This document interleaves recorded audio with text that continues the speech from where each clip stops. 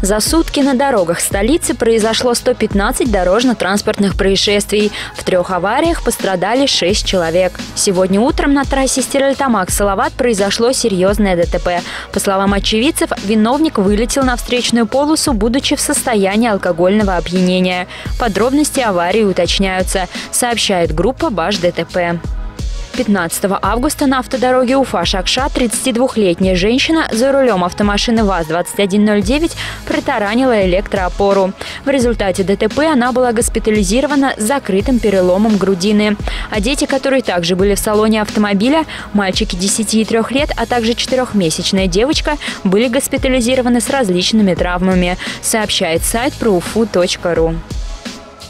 В Уфе легковушка протаранила пассажирский автобус. На улице Королева Рено вылетел на встречку и въехал в стоящий пассажирский пазик. По словам очевидцев, за рулем иномарки была автоледи. Пользователи пишут, что женщину, которая была за рулем Рено, увезли в больницу. Подробности аварии уточняются, сообщает сайт proufu.ru.